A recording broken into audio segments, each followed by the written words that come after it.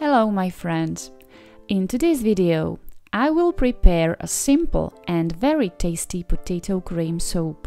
What should we need? Large potatoes, medium carrots, cabbage, a bit of coffee, sour cream, cloves of garlic, onion, salt, freshly ground pepper, half a teaspoon of red pepper, bread for croutons.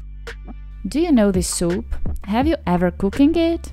I will be very happy if you could write me in the comments what country you came from and what kind of soup you like to cook the most. And what is the preparation process? Wash and clean all the vegetables.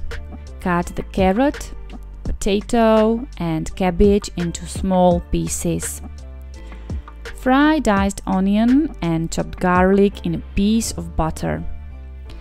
As soon as the onion softens, we can add chopped carrots, cabbage, and potatoes. Salt, pepper, you can add marjoram and red pepper.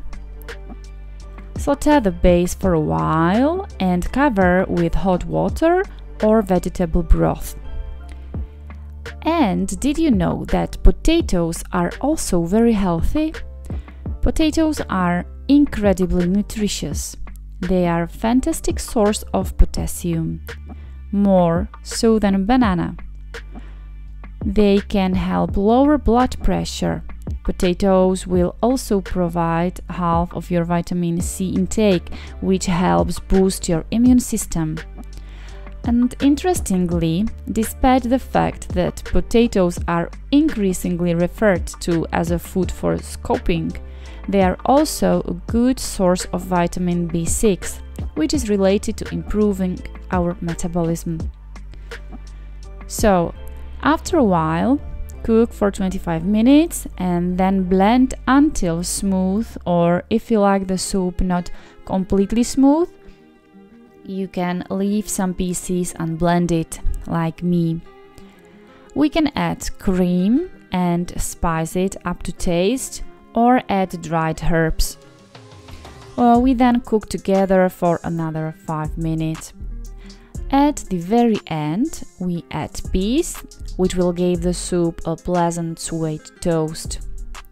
In fact, potatoes are so nutritious that studies have shown that communities that eat mostly potatoes have very few of the problems often associated with unlimited diets. Furthermore, Children raised on this potato containing diet grow and develop quite normally. Of course, we are not um, advocating a diet limited mostly to potatoes, but it does prove their nutritional capabilities.